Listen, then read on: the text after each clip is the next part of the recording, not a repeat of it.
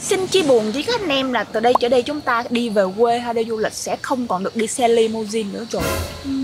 Hiện nay theo nhu cầu đi chơi hoặc là về quê thì nhiều nhà xe đã có hình thức là đưa đón và đưa rước tận nhà với các xe 16 chỗ được cải tạo thành xe dưới 10 chỗ, đặc biệt là xe Ford hay còn gọi là xe limousine. Đối với các dòng xe đã được cấp giấy phép kinh doanh thì vẫn sẽ được